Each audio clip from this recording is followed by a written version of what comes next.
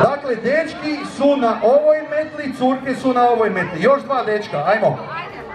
Može, može, neće biti ništa, ajde. Zajaši, ali nemoj da mi bude tišina jer se mora vrištati. Dakle, trebate obletiti oko mene i nazad se vratiti, a ne ići tamo daleko. Jel u redu? Ajmo da čujem vrištak za ekipu. Tri, četiri,